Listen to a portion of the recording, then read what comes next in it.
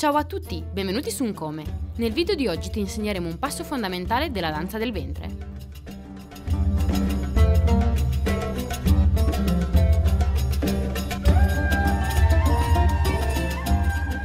Questo è un movimento molto semplice e necessario per i passi futuri, che si sviluppa sul piano orizzontale. Dobbiamo collocare i piedi parallelamente, con un'apertura delle dimensioni dei fianchi.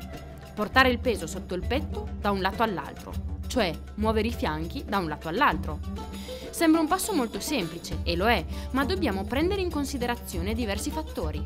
Cercheremo di mantenere alto il nostro ombelico e che sia solo l'anca che si muove da una parte all'altra, premendo i nostri obliqui ogni volta che arriviamo a un estremo. Questo ci aiuterà a ottenere flessibilità nei nostri fianchi.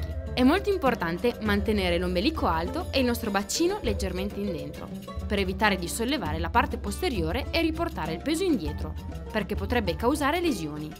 Come puoi vedere è molto semplice se seguiamo tutti i passaggi, da una parte all'altra. Se alzi un po' il petto, noterai che è molto più semplice fare il movimento.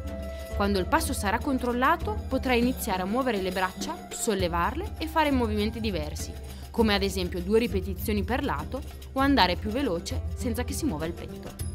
Questo è tutto per oggi. Se ti è piaciuto il video, non dimenticare di iscriverti al nostro canale per vedere tutti i video di danza orientale.